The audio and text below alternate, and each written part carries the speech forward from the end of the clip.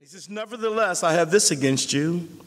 Notice what it says You have left your first love.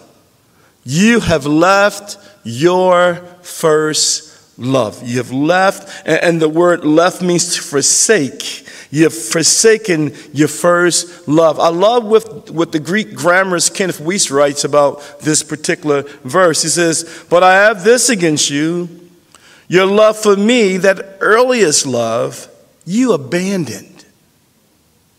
You abandoned. Notice it doesn't say you lost your first love, it says left.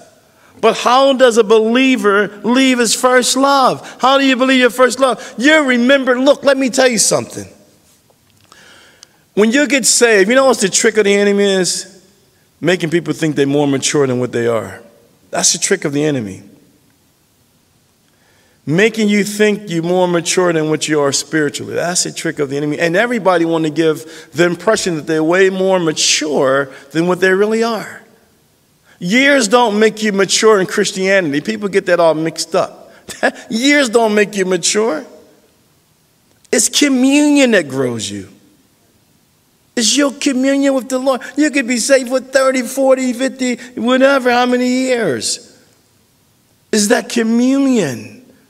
And the person that holds dear to the things they first received when they got saved, when they remember how messed up they were, how their life was a wreck, and how when they got saved, they was reading the Bible every day. You know, when you get saved, you got your Bible out, you got an ink pen, you take notes, then you get settled in, all of a sudden, oh man, I didn't heard that before, I don't need this. You know, you start thinking that you arrived to a place where you have not arrived. He who begun a good work will complete it, and even until the day of Christ. We all just beginners in light of eternity. He said, Well, how in the world could somebody leave the. What do you mean, you left your first love? Well, by loving something more than Jesus Christ. And you think, well, what do you mean loving something more than Jesus Christ? You're talking about like uh, some other thing outside of the church? I'm talking about in the church. Loving a title more than Jesus Christ, loving a position more than Jesus Christ. Loving where your role is more than Jesus Christ. Loving where you think you need to be more than Jesus Christ. All those things that nobody see but Christ. And you can get, you know, overwhelmed with those things and perseverate on those things. And over and over and you'll thinking, you'll think over and over again, well, I should be here by now, and I should be doing this, and I should be doing that. And, and that affect your relationship with Jesus Christ because how we think we should be. And it start becoming other stuff. Or oh, you can start working. I'm home, I'm working for the Lord. You? I'm serving the Lord, man. I'm down there shoveling and we doing outreaches and we putting up tents. I'm working. Man, I'm working. You reading your Bible? No, we got another outreach schedule. That's good. Yeah. And, and you can just do the work and do the work. We're serving people getting saved and everything. And the Lord said, But you know what? You're not really in communion with me no more. It looks good outside. People say, man, it's good. The church down in Ephesus, you better go down there. It's a huge church. You know God is doing something down there. The Lord said, Really? really? Nevertheless, though, I got something against this church.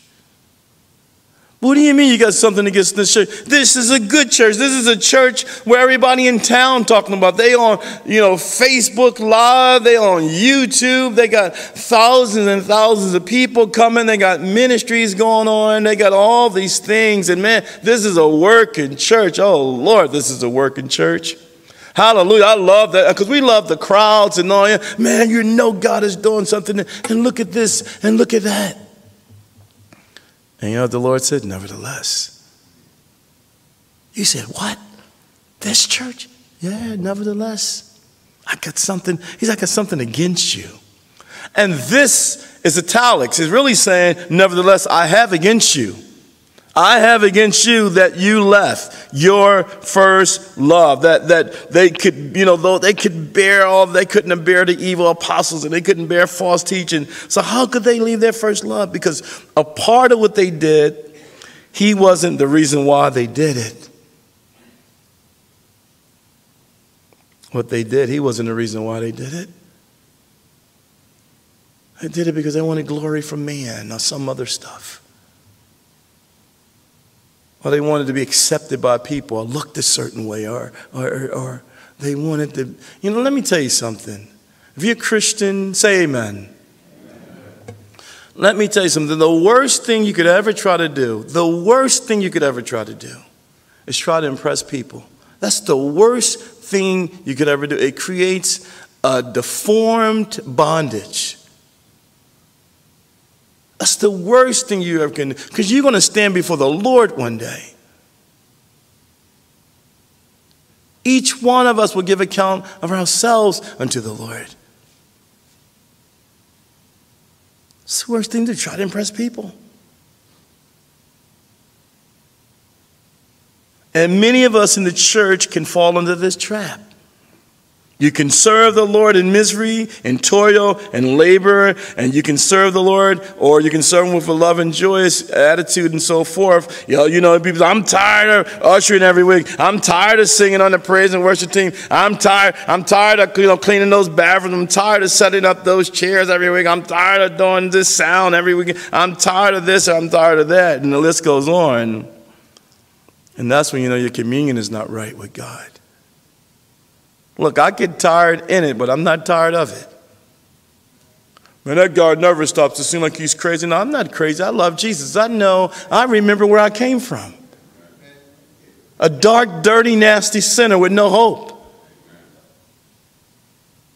And if the, the more you remember where you came from, that you was a filth, our righteousness is filthy rags, the more you realize that, the more you know you need communion with the Lord. You know, apart from Him, we'd be doing everything we used to do. We need more people in communion with God than ever. You walked away from it. Uh, you left your first love. God said, Come on back. Come on, come on back. Come on back. Remember when you used to have the flashlight with the Bible at night reading and studying and said, Lord, show me you, Lord. Show me how much you love me, Lord. Show me how much you care. Lord, I want to do it your way. Remember those days when all you wanted was Jesus, when all you wanted was to please Him, all you cared about was, Lord, I only care about what you think.